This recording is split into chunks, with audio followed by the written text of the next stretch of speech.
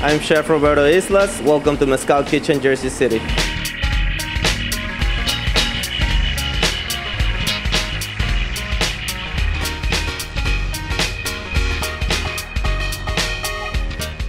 Can you tell the viewing audience of Jersey City um, where you're located so they know exactly where to go? Uh, we're at 665 Newark Avenue, Jersey City, the area of Journal Square. Yep. We're right in the five corners. Five corners. Jersey City. exactly, yeah.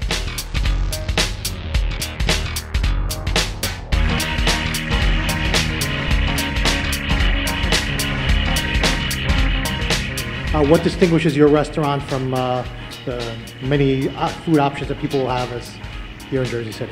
I don't know. I think we're all authentic Mexican food. We describe in our menu what's authentic and what is not authentic for us.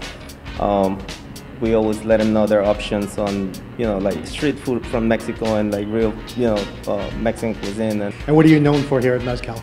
people really like everything, so it's, it's it's not it's wide var- variety of, of food, and they like the tacos, they like the, the platters, they like the corn and the cob, they like the ceviches, plantain fritters. I don't know. There's many many things that people like. So.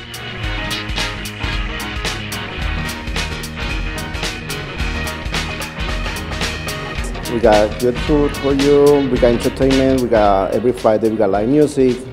We got different bands. We got mariachi. We got uh, uh, Spanish music. Uh, we got English jazz, just Spanish jazz.